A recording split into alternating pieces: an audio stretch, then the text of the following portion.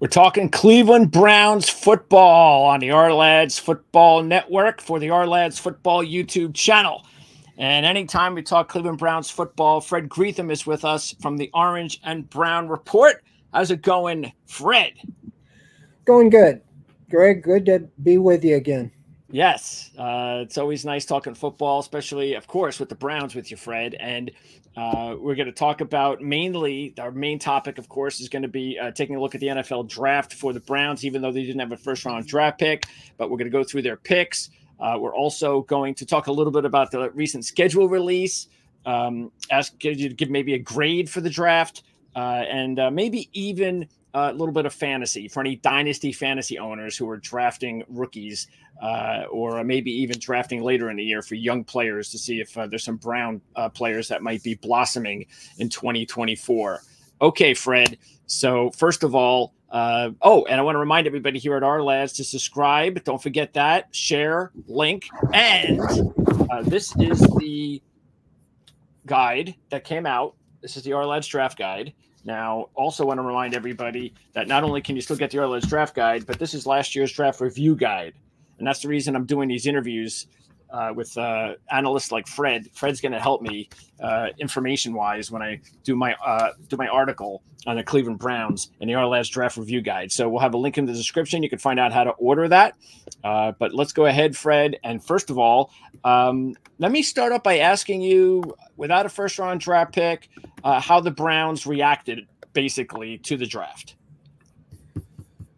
Well, you know, it's hard for me to be down on what they did when they're drafting 54th overall. And by the way, this this paid off as far as not the money, but the draft picks and the compensation on the Deshaun Watson trade. You know, they traded six picks, including three number one picks, and this was the last year of that payment.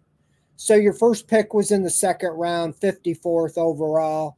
It's kind of a crapshoot to even guess what they may do by then. But I actually, we did a show like this before, and I think I was the only one on the panel to predict Michael Hall, uh, just because I little biased with Ohio State, but okay. I just thought that he could be.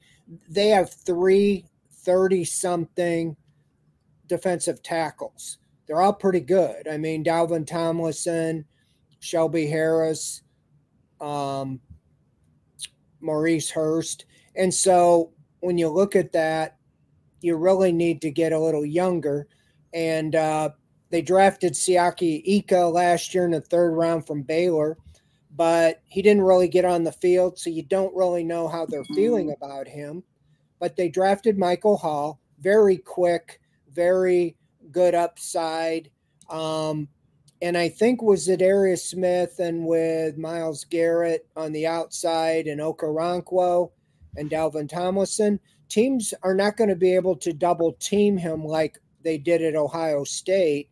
And Hall should get favorable matchups at oh, with a guard one on one or a center one on one. And I like his chances going up against them. Okay. I'm not trying to compare him at all to this player, but I covered a player with the Browns very similar, Michael Dean Perry, um, drafted about the same area from Clemson, and he was the same weight exactly as Hall, and he was very quick, and he really had a great career with the Browns. And I think with Jim Schwartz, here's a 20 year old with the speed and the quickness from the inside that I think Jim Schwartz will be able to pick his spots. If you saw last year, Jeremiah Owusu-Koramoah at linebacker exploded the way Schwartz used him. And yep. the same thing could be said with Grant Delpit at safety until he got hurt late in the year. And so I think that he'll have spots to use Michael Hall. He's weak against double teams because he's undersized but he's very quick off the ball. And if you can move him around and get him in one on one matchups, I think the defense is going to have to pick their poison. Do you double team Smith? Do you double team Garrett and let Hall go one on one? And so I like the pick. He's the only guy I would say that I think will be in the rotation from the draft pretty likely. Yeah, four, uh, excuse me, six total picks, four on defense, uh, starting with Hall. And um, uh, then you take a look at, because we'll stick on defense uh, with their sixth round pick, because uh, six and seven, the two sevens, all, three with defense. So you have Nathaniel Watson, Myles Harden, Jowon Briggs. So Watson uh, from Mississippi State, uh, we, we, you know, of course, Cleveland, like a lot of other teams. Uh, well, actually, uh, I, I, should ask you uh, because I know there. I was just about to say a lot of other teams going to two linebackers. The Browns have used two linebackers. What's the defensive um, scheme going to be this year? Do you think that they're going to use more three linebackers, or uh, will they still go back to two linebackers most of the time? I think they will, um, in their base, you know, have three out there. Last year they had the middle with Anthony Walker and then Sion Sione Takitaki was on the early downs, okay. you know, on the strong side along with JOK. But they really want to play two linebackers most of the time. And I think that's JOK and Jordan Hicks. Um, because Jim Schwartz likes to play three cornerbacks or three safeties you know, so he likes to have five defensive backs out there. And with four rushers, that leaves you two linebackers. One area they were exposed in the playoffs was they didn't have a lot of speed at linebacker, and um, they moved on from Takitaki and Anthony Walker, and they have the athleticism in JOK, but I think they need some depth there. They added Jordan Hicks to kind of take the place of Anthony Walker, kind of be the captain. He's a tackler, over 100 tackles the last five years. So I think he'll fill that role. But I think they, they want a little quickness. And I think the intriguing part of, of adding Nathaniel Buki Watson is I didn't know a lot about him, but you look at him, SEC Defensive Player of the Year, led the conference with 137 tackles, tied for the league lead in sacks with 10.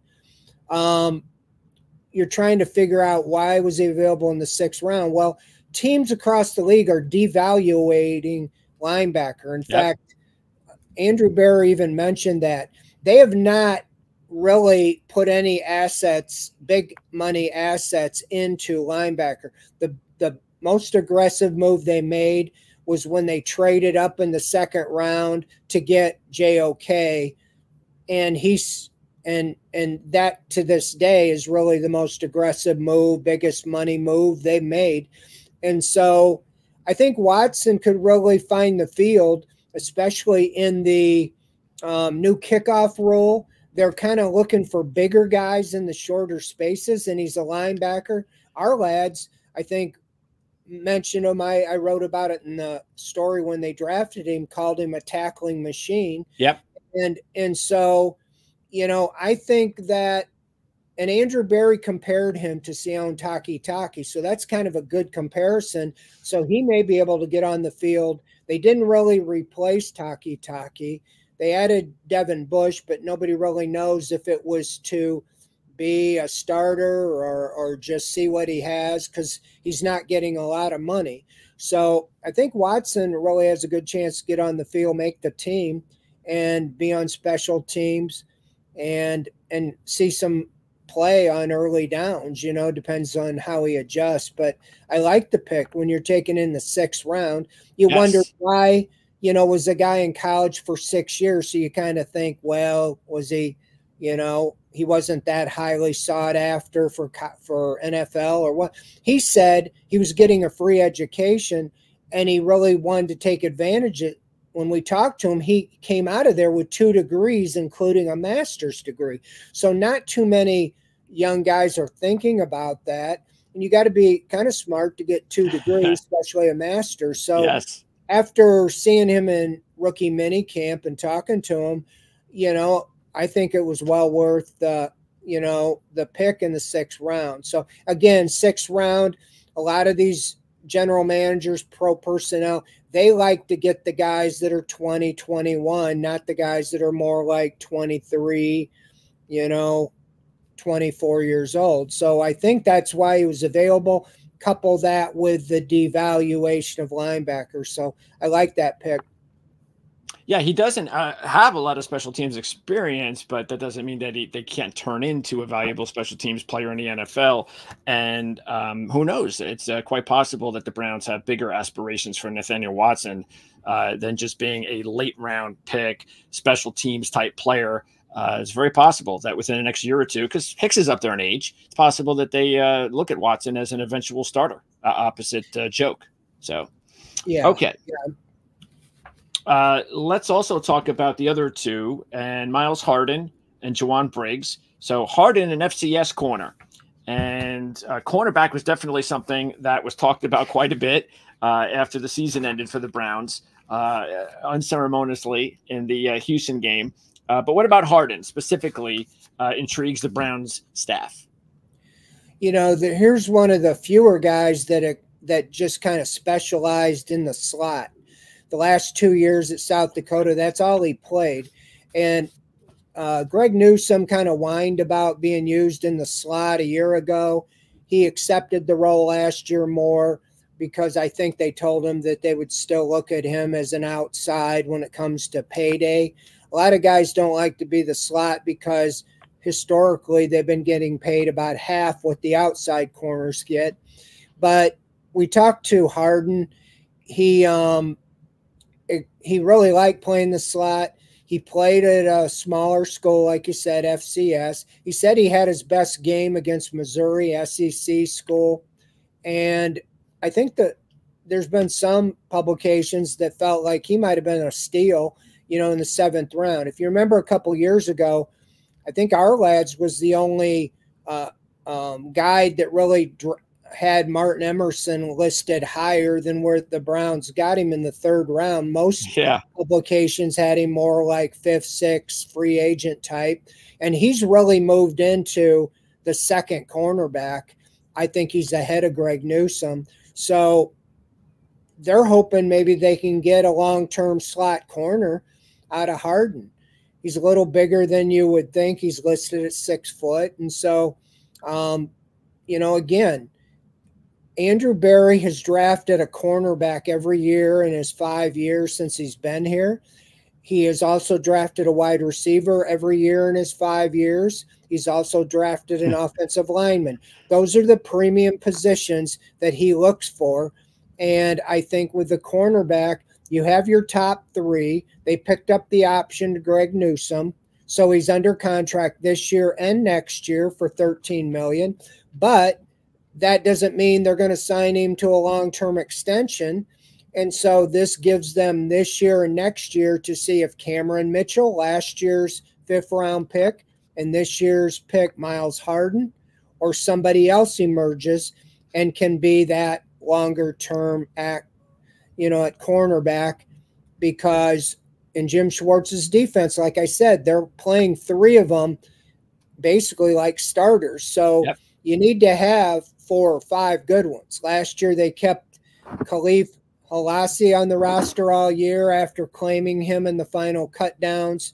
The Chiefs wanted to put him on the practice squad, so they have to like him. And so they're collecting young corners to not only for now, but for the future. So it gives them some options. And so Harden's going to get his opportunity. I think he, he has a real good opportunity, if not to make the team, to be on the practice squad. Yeah, and uh, some more tidbits on his scouting report um, being a, a, physical player, very good in run support, um, could be a big nickel, could even be a safety. So that gives a lot of options, a lot of different options for uh, the coaching staff and how to use a player like that. And that's exactly what you want. You want a player, a player that uh, can potentially fill a variety of roles until they figure out which one may be the best one for them. And I notice also that the last two players on defense we just spoke about are three-year starters. So um, uh, I don't know if that is something that you've noticed uh, is something that is important. Sometimes it's not uh, to some scouts, to some GMs. Uh, they don't really care. They just care about talent. Some do care about, well, I want to make sure he's a leader, he's a team captain. I want to make sure that uh, he's got a lot of experience, not just a one year guy. Uh, do you see Berry? Uh, you just mentioned that he has some similar every draft ways about him offensive line, wide receiver, corner. Do you notice anything like that regarding whether or not he values experienced players uh, or not? He does. He usually has the guardrails, like I mentioned earlier, with the younger guys, the 21 year olds. I mean, Michael Hall's 20. Um, they like to have them to be able to grow into it. Okay. Um, but yeah, leadership he talks about is big. But then when they get to the later rounds, I think sometimes it's more production. And so they went outside the guardrails with the sixth round pick, like Watson. And I think maybe a little bit with Harden, uh, you know, a smaller school. And Briggs, the, you know, there's a valued position, defensive line, three year starter. And, uh, you know, yeah, he, Briggs he actually Briggs actually a five year starter. So you've got uh, Watson three years, Harden three years, Briggs five. That's a lot of experience uh, with those last three picks on defense. Yeah, and and so when you get drafted by the Browns and Andrew Berry, you usually have a pretty good chance to make the team. He has up until last year, anybody he has drafted basically in his five years was on the team you know, in some fashion. And okay. then that now they're in the decision making because this roster's so strong that you're you're replacing some of the earlier draft picks with later draft picks. You know, he moved on from Peoples Jones last year. It's one of the first guys that he moved on from in a trade. And so I think because this roster, I mean, they have over 40 of the 53 guys have guaranteed contracts. Okay. And so you are really running out of room. It's going to be very tough for a rookie to make this team, even the draft ones. So you have to really look at the practice squad as places for these guys. And I think that's a perfect place for Jowon Briggs. Um, you know, obviously they have to go through waivers and so forth, but they're collecting defensive linemen. Like I said, they put a premium on it and they have three at 30 or over, and they're on one year deals, two of them. So um, they're built to win now, but they're also an eye to the future. This draft really had an eye to the future. You know, like I said, Watson could get on the field, and so could any of them. But as far as I really think it's more for the future, Hall has a probably the best chance to play this year. I think he'll be in the rotation. Injuries factor into all these things, but right now I think a lot of this was value for the future. Yeah, when we talked about that uh, on one of our previous uh, uh, videos regarding the fact that if there was any team that went into the draft that could deal with not having a first round draft pick based on their roster and how deep it was, it was the Cleveland Browns. Um, and that's why uh, you could say what you want about the trade. And I'm sure there's a lot of fans we know out there not happy with the whole Watson deal. Um, but it really has not affected Cleveland at this point and uh, it's just about now finding out. We'll talk more about that during training camp, and of course uh, during the season whether Watson could stay healthy and finally uh, give Browns fans uh, the production that the Browns are hoping that he's going to be able to do. Um, I, I, I want to before we move on from from this, uh, I wanted to ask you about some of those other younger players now. So we mentioned Briggs, obviously, and Hall, and and just talking about the the defensive line. Uh, so you've got some other young players up there, uh, whether it's uh, Siaki from last year's draft, Alex Wright from the 2022 draft, uh, McGuire from last year's draft. Um, Lonnie Phelps is a name. So uh, tell, tell me about whether or not there's those players that I mentioned, or maybe some other players I haven't mentioned, some young players that you think might be able to blossom and uh, take a step up this year. Yeah, um, when you look at the defensive line, edge rushers, a premium position. They the biggest move and really the only move they made there was re-sign Za'Darius Smith to a two-year deal. Um, that tells me they're very confident that Alex Wright is headed in the right direction. You know, as a rookie, I think third round pick, he had no sacks. Um, Last year, he had to have arthroscopic surgery after the first preseason game. He missed the rest of training camp, so he had a slow start. But by the middle of the season on, he stepped into the rotation and he finished the season with five straight games with a sack. And and so I think he really solidified being the number four edge rusher behind Myles Garrett, Za'Darius Smith, Ogbo Okoronkwo, and then you have Wright. And then he, Elijah or Isaiah McGuire last year, fourth round pick. He had one sack, played a little bit, but like most of last year's draft picks, if you looked on draft or on game day, almost all the inactives were the draft picks. Siaki Ika and McGuire and Luke Wypler, because they were so deep, yeah, they couldn't put them on the practice squad, but they couldn't get him active on game day. So McGuire, I think, will be in a battle to be the fifth. I think right now he's the fifth. They like Lonnie Phelps. He was at the rookie mini camp. They didn't really add um, anybody other than as an undrafted free agent. Okay. You know, they they um, will have some guys competing, but I think for the most they like what they've seen of Alex Wright and McGuire, we didn't see enough of him. We didn't see enough of Ika. Again, he was inactive every week pretty much. So it's going to be telling. They did add more on the defensive tackles, so that could be read that they're ready to.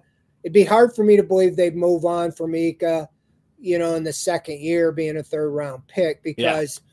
most of us thought they'd move on from Anthony Schwartz earlier, but he was a third round pick, and Berry kept him until the very end last year before finally moving on from him. So, yeah, I think the defensive line's in good shape, um, and they're pretty deep. In fact, um, some wonder with Michael Hall, you know, now are you going to have six defensive tackles, or are you going to have to let go of a of a guy like Maurice Hurst that they brought back and they liked, or or trade one of them maybe yep. to get a position of need if there's an injury or something. The one thing I'll say on the last comment last year, the team was 11 and 6 in a very brutal division with five different starting quarterbacks. So, your yes. point about Deshaun Watson, this roster is very good. And I'm not taking anything away from Joe Flacco, but you just dropped him into a roster and an offense, and he hit the ground running if Deshaun Watson can stay on the field, you have to believe that the offense can be as effective. And and that's not to say Nick Chubb didn't play the whole season either. Yeah. So so this is a very strong roster. Number four just has to stay on the field. Absolutely. And I look, I'm not a Browns fan, so I don't know what they're going through with Watson, but um, I think they're a little hard on him myself. I really do. Uh, and uh, I, I, the way he fought through that Baltimore game, I don't think they give him any credit for that. I mean, that's tough football. I mean, well, he could have just that. said, "No, I'm not playing." 14 for 14, 134 yards and a touchdown.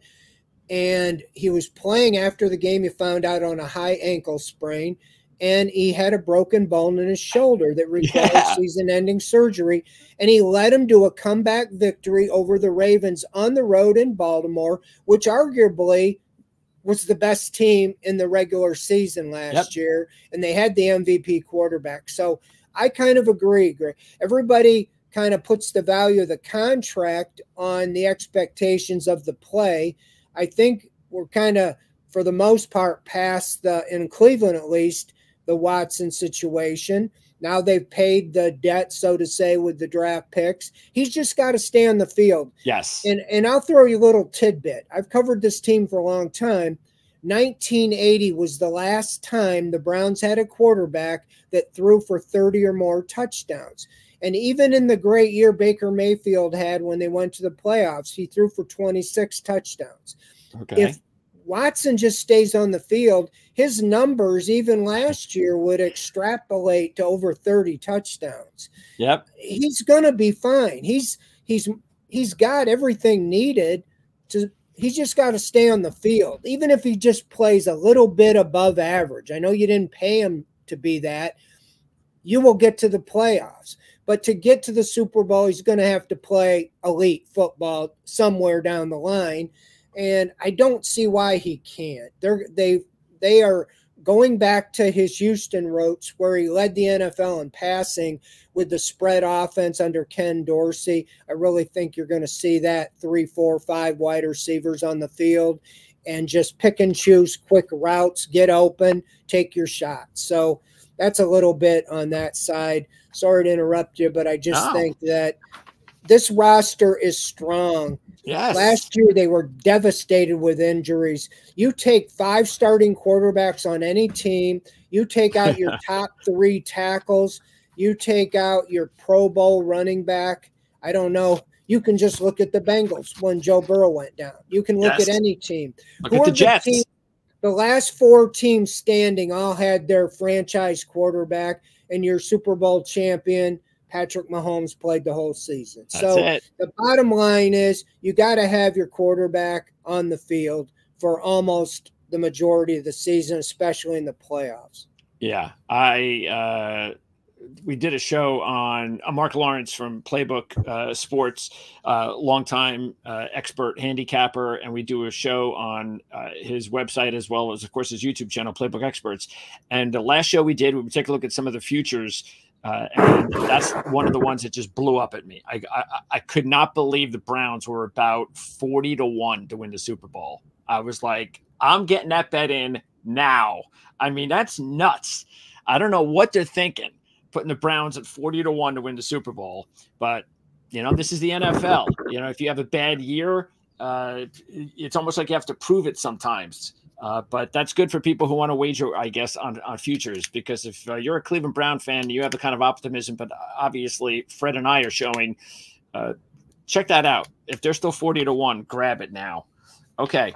Um, well, they have the toughest schedule in the NFL. You know, right now, obviously, when you get to the regular season, it's never the same as what it yeah. is in May.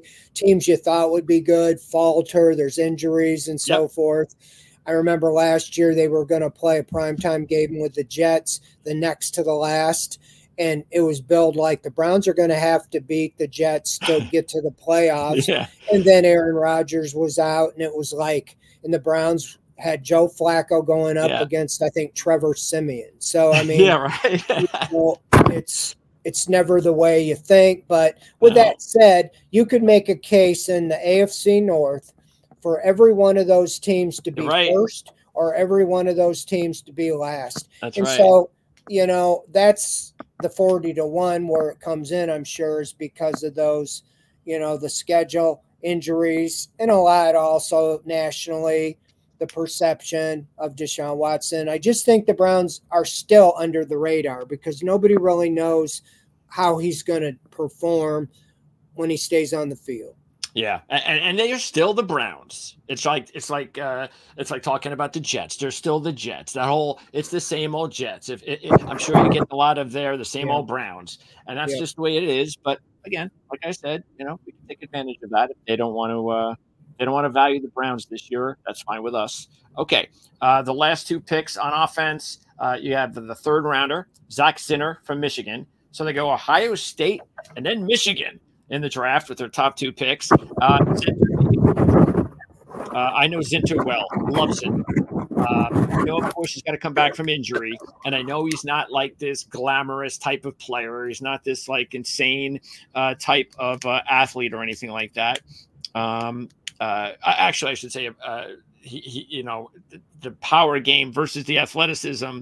Um, I actually value uh, his power more than I do his athleticism. Um, but I, I, think he's a complete type of offensive lineman, and I think uh, even though they got him in a spot that that was uh, pretty much where uh, most people thought he was going to go, um, I think he is definitely a long time NFL starting offensive guard. Yeah, to me, he's a plug and play guy. I mean, I, you know, I, am not a fan really of the Browns because I cover them, but Ohio State, I am. I'll say that. And all you have to do is watch the last two or three years the Michigan offensive line just steamroll the Buckeyes. The Buckeyes have all these glamour guys, the Marvin Harrisons, the C.J. Strouds, the Travion Henry, the the NFL's you know skill set guys that you see on Sunday, but they got steamrolled by that big offensive line of Michigan, and I didn't know much about their names or their individuals. When I learned that Zinter was the captain, the leader of that group, yep. um, that told me all I need to know.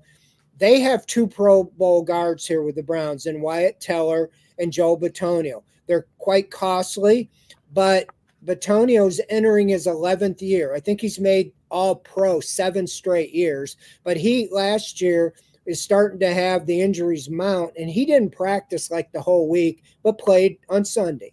Okay. And you don't know. Joe Thomas retired after 10 years, and Bitonio's coming back for his 11th. So you don't know if this is his last year or not.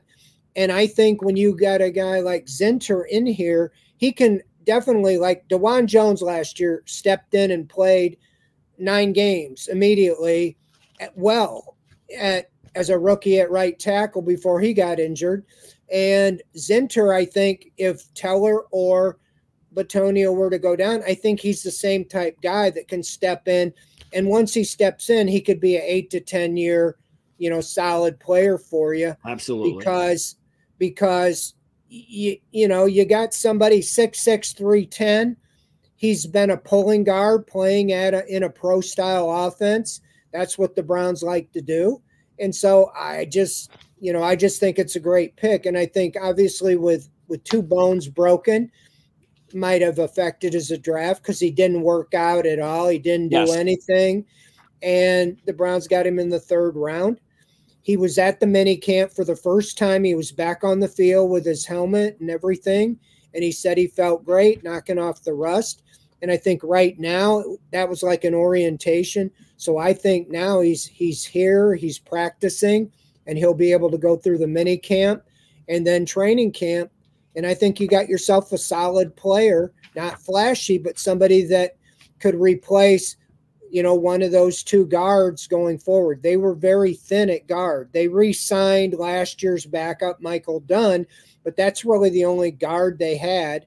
They signed Javion Cohen as an undrafted guy. He'll probably compete. I wouldn't be surprised if he sticks. Yeah. You know, at least on the practice squad because I think he was supposed to be drafted by many uh, guides, and yes. so I think that you're trying to develop some future, and there could be your future. You know, with Cohen and and Zinter, your future guards. You know, right now, you know they're paying over 10 million for both individually Bitonio and Teller. The Browns, by the way, have more 10 million plus players on their roster than any team in the NFL. And so that kind of tells you the roster they have. So, you know, yeah, I like the pick, and I think that that I don't know how you can go wrong. And one little other ironic story is Zinter broke his legs in two or his leg in two places, fibia and tibia, against Ohio State when Michael Hall rolled up on his ankle in that oh, game.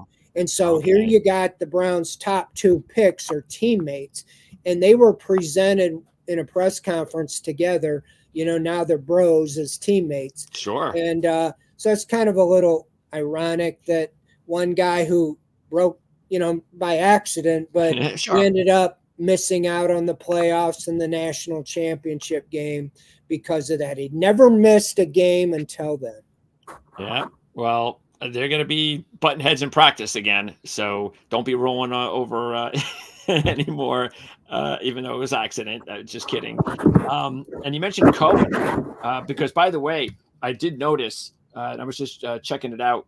Out of all six draft picks, they five of them have started at least three years.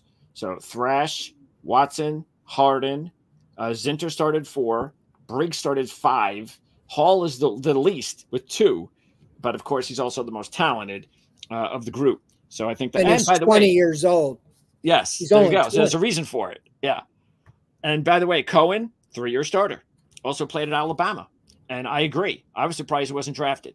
He could have gone as high as the, uh, the fifth round and uh, that that's definitely one of one to keep an eye on. I do have, of course, ask you before we move on to the last pick about Callahan.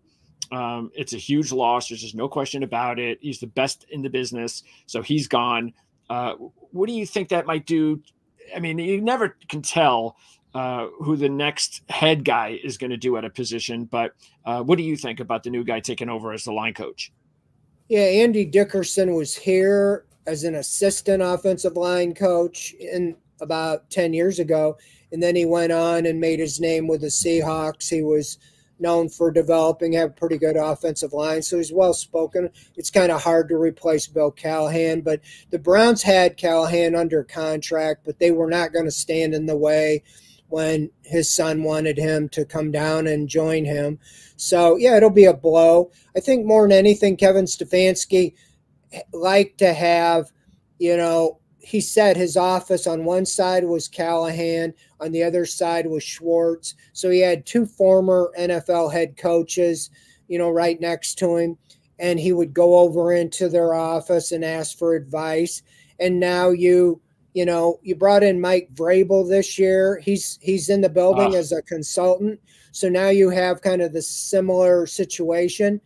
But I think Stefanski now now's entering his fifth year. I think he appreciates all the help, but I think he's now ready to assume that CEO role completely and maybe even turn over the play calling to Ken Dorsey and and all the way across the line. So it'll be a blow, but I think they were able to really instill in a lot of these veteran offensive linemen how they want to do it, you know, Bitonio and Teller yes. and Conklin and Wills and even Dawand Jones all were under Callahan and they were able to be developed and, and understand that system. So we'll see how they tweak it with the new offensive look this year. But I think, yeah, just like anything, you kind of, you know, you're successful, you're going to move on. I mean, I think Jim Schwartz, a lot of people thought he might move on because the number one defense in the NFL. Well, it's going against him. He's 56, and now they want their head coaches like in their 30s, it seems like. So the Browns were fortunate not to lose him. All right. Now, the last pick is Jamari Thrash, the fifth round wide receiver. And even though he uh, ended his career at Louisville, uh, he played four years uh, in the Sun Belt at Georgia State. A lot of good production there.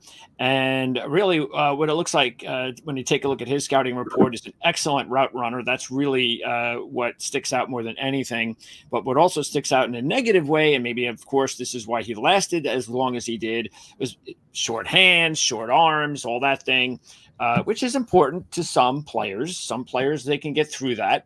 But what about Thrash and uh, whether or not you think he's going to be able to stick? I'm sure he probably will. Like you said, they all seem to stick the rookies. Uh, but whether or not he not only just sticks, uh, but he can make maybe a, a, name for himself on this team within the next couple of years. Well, again, a guy with a lot of production, four years in college, but he decided he wanted to go up, play up. A lot of times guys go down he wanted to get in a pro style offense. He went to Louisville and played in the ACC and had had more production there probably than he did at Georgia State. And so again, he's known as being a separator, being able to find ways to get open. And I think I've said all along my top priority for the Browns was not to draft a wide receiver in the second round, but to trade for a veteran that could already step right in. Yep. They did for Jerry Jeudy. He was my third choice. He's more of on potential. I wanted somebody that's been there, done that, maybe a little higher level, but that's what they did. So you have Amari Cooper, Jerry Jeudy, and Elijah Moore as your top three. All came in trades. Now your fourth is Elijah or uh, Cedric Tillman, last year's third year, third round pick. The previous year, third round pick, David Bell. And those two are mainly battling for the fourth spot. I still think they could use a veteran guy at the fourth spot. Okay. But so far, they have not chosen to bring anybody in. So right now, I would say Thrash has a good chance to knock David Bell off the roster, or or at least make it as the on the practice squad. I think Cedric Tillman is the favorite to be at least the fourth receiver. They really like him. I talked to Andrew Berry about that, and they're really high still on him. Um, And so I think Thrash, yeah, he's going to have a chance to compete there. And I think at, at worst, he would be brought in on the practice squad um, because of his production again. Um, rookies, it seems like it takes a little while before they are able to go. That's why I would rather have a veteran. But, you know, like you said, a lot of production and um, a lot of experience in college. And that's almost, you know, kind of like a David Bell or Cedric Tillman, be able to see what they have when they get to training camp. And who knows? But when you're talking the fifth round, um, he drafted Donovan Peoples Jones, and he was their number two receiver for three years. So anything goes. You don't know. It just depends on, you know, Bell and Tillman and where they're at. They did go out and sign an undrafted uh, from South Carolina, Ahmarean Brown, and gave okay. him 100, 150,000 guaranteed to be a preferred uh, undrafted oh, free agent. So okay. that tells it's cheaper than drafting him in the seventh round, I believe. But still, that tells me they like him enough. Probably he's competing, and they probably like to keep him around on the practice squad as well. So again, it's going to be a numbers thing, and injuries always play a part. But you have Cooper in his last year of the contract. You have Elijah Moore in the last year of his contract. So a lot of it will depend on what they think these young guys – and they're going to get the chance in the upcoming preseason training camp to see what they have. Okay, uh, a couple more things on the draft. First of all, uh, if you had to give a grade, I'm not sure if you've done that yet. Uh, what kind of a grade would you give the Browns? And we have to, of course, understand that it also in, involves the trade. So you can't just say, well, you know, uh, I'm going to give them a grade just for these picks in general, what kind of a grade would you give the Browns for uh, this draft class and how they had to make a move in order to not have that first round draft pick? Well, you know, I, I would say B minus because you don't have a first round pick. You have to include, you know, the Deshaun Watson trade. So now that's paid for, you know, at least the compensation draft picks. But um, you don't have a first round pick that's going to for sure help you this year. Like I said, this roster is pretty much set. So these six picks, I don't know if any of them will even play this year. Michael Hall yeah. is expected to be in the rotation, but he's coming in behind Dalvin Tomlinson, kind of a big money for, uh, free agent from last year, and Shelby Harris, probably their top graded defensive tackle, brought him back as a free agent, and Maurice Hurst. And so at best, he's probably going to be fourth in the rotation, barring injury. And then you have last year's third round pick, Siaki Ika. So, with that said, Zinter is expected to be a future pick. And then you have Thrash, like I just mentioned. Watson could get on the field and special teams, could even help because they're a little thin at linebacker. Again, at linebacker, I see that they could bring a guy in, you know, at training camp after they see what you know, keep in mind last year they didn't sign Shelby Harris until two weeks into training camp after they were in Greenbrier and they okay. evaluated and said, okay, let's, there's a bunch of 30 something guys out there. They did that a couple years ago with Malcolm Smith. He was a linebacker that was available. They had an injury. They brought him in midway through training camp and he turned out to be the second leading tackler. Okay. So they could do that with wide receiver. They could do that with linebacker. They could do that with tight end. So all this is fluid. But when you look at that, I talked about Zinter, I talked about Thrash, Harden, same thing. These are all future prospects for the most part that could get moved up if injury occurs. But Briggs, same thing. I like what they did, thinking you got to address the future and they have a good roster, but they have some guys that are getting late 20s, early 30s, and they got to make some decisions. They have the highest payroll in the NFL as far as cash. And, and as long as Jimmy Haslam keeps willing to spend cash to restructure and pay it in upfront bonuses, they averaged last year paying about 50 million more in upfront bonus cash to, than any other NFL team. That's how they're able to have these, you know, 10 million plus guys on the roster. So with that said, they have a they can afford to develop because as they went into the offseason, they had 19 of the 22 starters returning yeah. from injury or whatever. And the three that they didn't retain, they let them go on their own. It wasn't like they said, oh man, we really, they went out and replaced them in free agency. Okay. So uh, I have to then uh, uh, also ask you about because you, well, is there a spot on the team as deep as this team is? And you've mentioned a, few of them already, but just if you just had to just quickly um, uh, outline or, or just point out, okay, here's one or two spots that you would still like to see the Browns and you think that they're going to zero in on to improve their depth. Uh, it sounds like to me, again, whether or not you agree or they agree with you, wide receiver, maybe add a veteran. Um, but if you had to just specifically uh, point out maybe one position that you think might be a little susceptible, barring injury, what would that be? Well, on offense, I'd say tight end. I mean, they let Harrison Bryant go. They have David Njoku, who had a breakout season, went to the Pro Bowl, but behind him, you don't have much. You have Jordan Akins, who was supposed to be a, a fave of Deshaun Watson from Houston last year. I think he had 15 catches. so Harrison Bryant was more of the blocking role. So you really don't have much behind them, too. You have uh, Zaire Mitchell Paden, who has been on the practice squad for a couple years, and you dra- you have an undrafted kid from Wyoming, Treyton Welch. So those two guys really right now are battling for the third. I think they could bring in either a, a an unsigned veteran or trade um, one of their surplus areas like defensive line for a veteran tight end okay. or a veteran wide receiver or a veteran linebacker. Okay. Again, I don't know if they're ready to turn over um, linebacker to Bookie Watson, a rookie. So again, they could bring in a linebacker to to go with Jordan Hicks. You know, if they don't think Devin Bush is the player that he was when he was with the Steelers or or whatever. And so, um, yeah, I would okay. say backer on defense and tight end on offense. All right. Uh, now, uh, for fantasy fans out there, uh, just want to, and, and, including, uh, there's a lot of drafting going on right now, rookie drafting for dynasty leagues, and then uh, regular drafting will be coming up soon as well, before you know it. But taking a look, uh, first, uh, there's not much to talk about with the rookies, so obviously we're not going to really zero in there.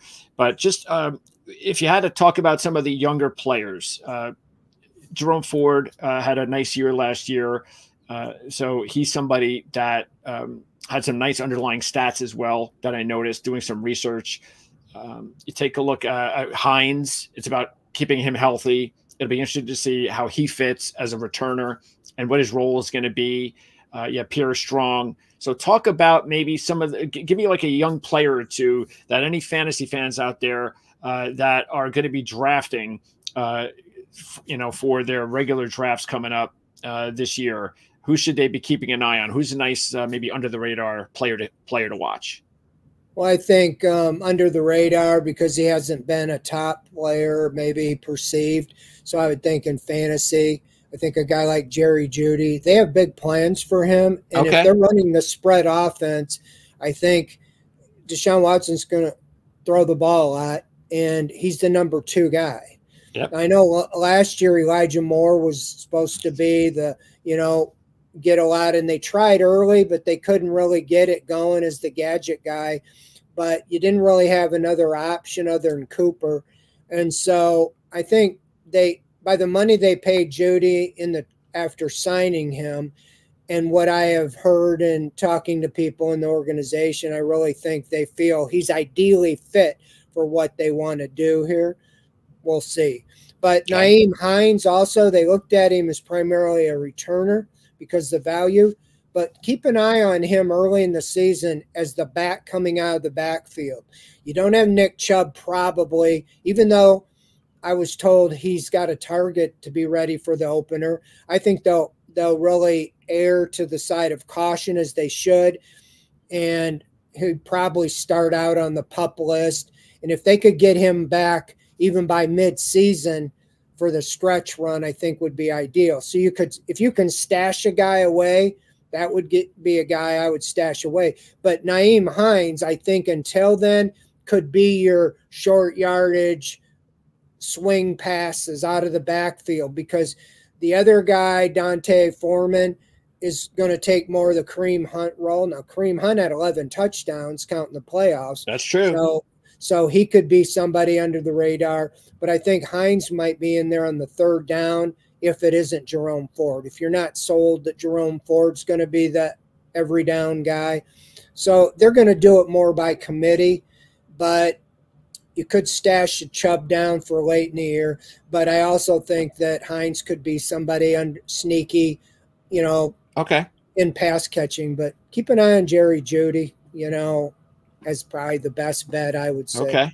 And uh, Chubb's injury, even though it was early in the season, uh, what's the reason why he's not ready for the start of the season? Was it? Uh, it, it sounds like to me then it was a more serious injury than the average and I'm just, and I know Hall's a little younger and different body type, and that was probably a different injury. Um, and I'm just thinking about Breece Hall, um, and he was injured later in the year, and then yet he came back ready to go once the season started. So, what's the reasoning behind Chubb not being ready more than likely for the start of the season? Oh, this was considered a career-ending injury. I mean, Minkah Fitzpatrick hit him with his helmet on his knee and the knee went the opposite way that it's supposed to. You know, you can only lift your knee to straight, it went all the way up. And he tore every ligament in there the ACL, the MCL. Wow. You know, PCL. He had the same injury, though, at Georgia. And they said his career was probably over. And he came back the next year and played in the first game.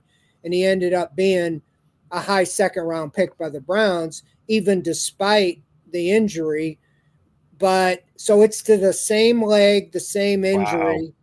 And, you know, you just question coming back. His career average, Greg, is 5.3 yards per carry. There's no question in my mind he'll be back on the field this year. Okay. But will he be 5.3 yards or will it be like 3.1? And That's so true that's he's 28, 29 years old.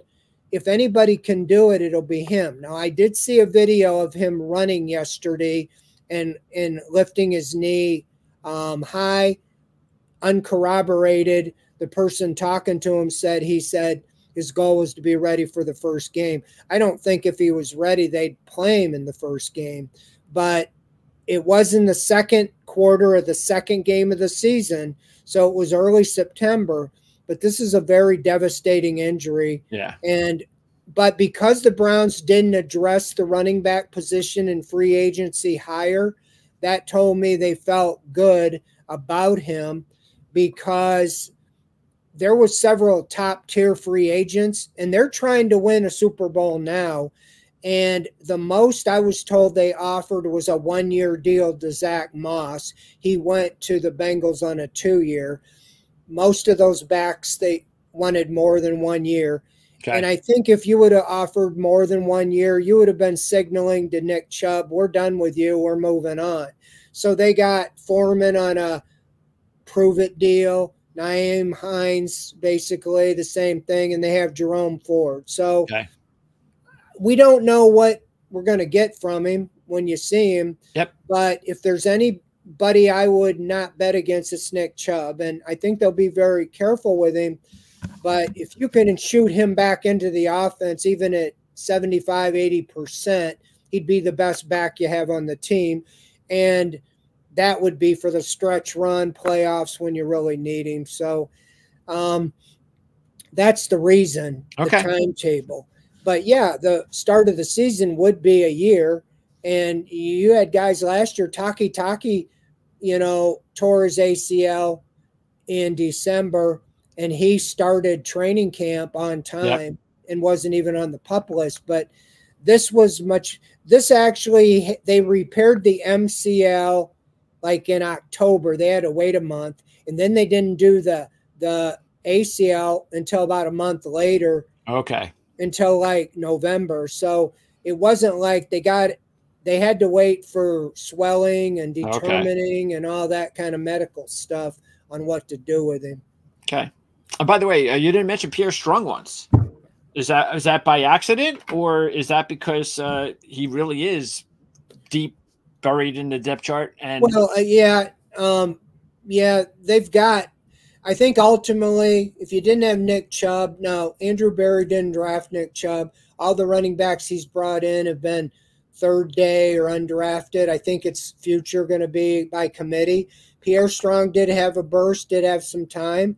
He got injured a couple times, played on special teams, but I think he's in the mix to battle with, you know, with with Ford, yeah. Foreman, Hines, Strong. I think whoever is the guy that gets to be in the third down back is really the guy I was pointing to to be maybe a you know a fantasy sleeper. You know, okay. I'm thinking it's Hines because makes sense. Um, you know that's what he's done in the past. Yep. And Foreman's been more a tackle to tackle, strong. You know, we didn't see him much in the passing game. If he can beat out Strong or Ford or something like that, yeah, I okay. think anything can happen. All right. Uh, and then uh, let's close with uh, a, a, look at the schedule. So uh, it's good timing because the schedule came out yesterday. Let me uh, pop up the schedule here and uh, take a look at it. Let's see. There it is. Okay. So, wow. That, that's that's a hell of a week one matchup. That's uh that's pretty significant. Taking on the Dallas Cowboys, week one. What did you think about the schedule? You mentioned it was pretty tough. It is by going last year's strength of schedule. I think it's the toughest in the NFL. I think it's 0.547 uh, winning percentage. So I think overall the the teams all have winning records. It, it doesn't help when you're in the AFC North when three went to the playoffs and all four had winning records. yeah. so you're playing in them six of your 17 games are in yeah. the division. And like I said, you could make a case first to fourth for any of the teams. A lot of it comes down to injuries and so forth. But yeah, you start out with the Cowboys and then you go to Jacksonville. Um, you play four of your first five games away. Um, or I mean, after the opener, four of the next five away.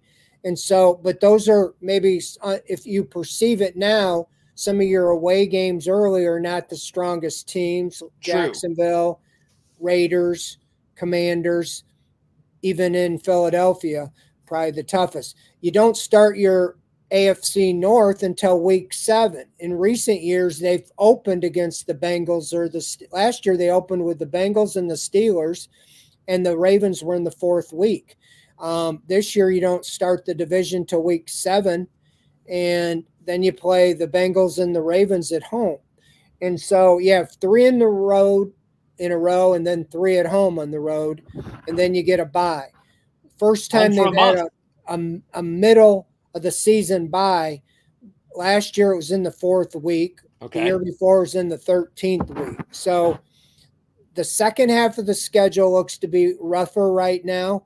So I think you really have to make hay in the early part of the season. And in the NFL, sometimes if you get on a roll, it carries you.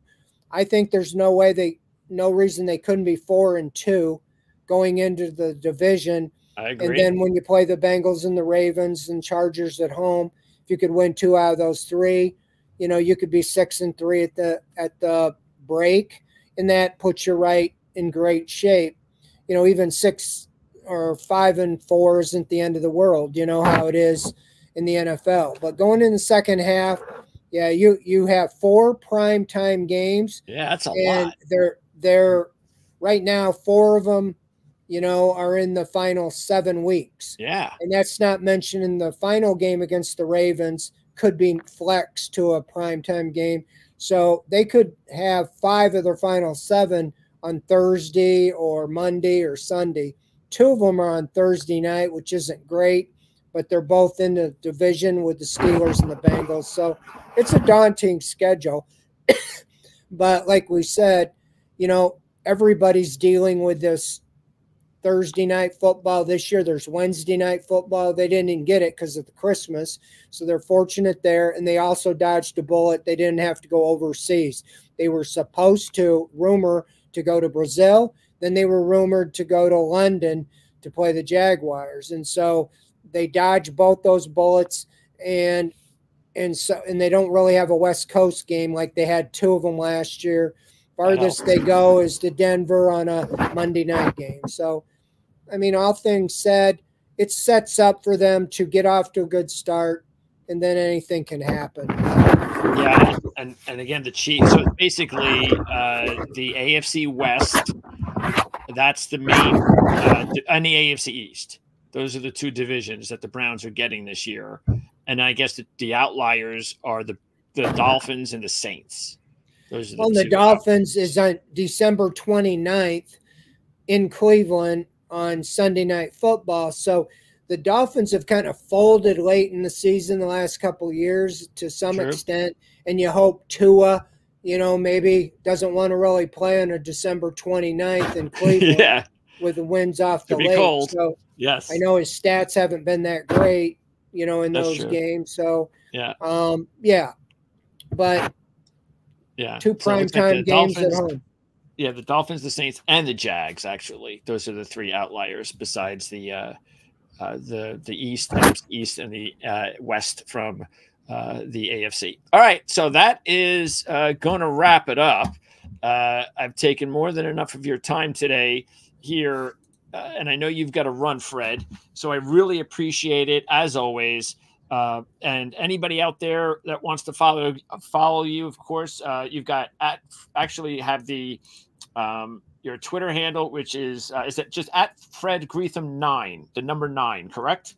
Yep, right on the screen, right yep. there somewhere. Yeah, um, and uh, also, of course, uh, you are. Do you have your own show, by the way, that you do with uh, that you that you have scheduled, or do you just pop up yeah. and do the shows? OB, OBR weekly every Wednesday night at seven o'clock Eastern on Twitch, YouTube, or now as well on X. So we had a thousand on there last night for schedule launch, over a thousand.